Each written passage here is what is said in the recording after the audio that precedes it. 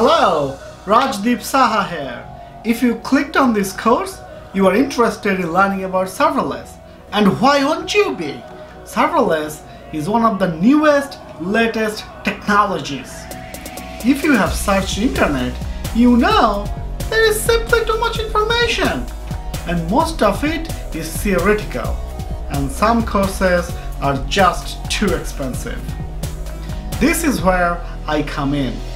I have AWS professional certification, have worked in Fortune top 20 companies, and I have migrated real enterprise projects into serverless. I have published blogs and presented in serverless conferences. My goal in this course is to give you a functional understanding of serverless which can have a big impact in your day-to-day -day cloud journey and the tool you need to grow your career. Whether you are a person who think cloud only exists in weather report or you work in cloud every day, you would find this course useful because we will start with basic concepts and go to advanced level. We would learn about Lambda and API Gateway and then we'll go to things like debugging your Lambda using AWS Cloud9, tracing using X-Ray, managing workloads using step functions.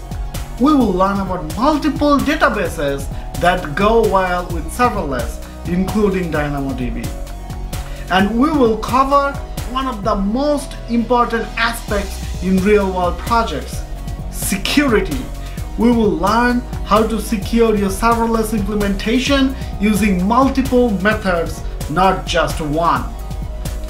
We will discuss serverless architectures and serverless anti-patterns, aka when not to use serverless and much much more. Finally, I am really passionate about cloud, especially serverless, and always stay up to date with all the major announcements.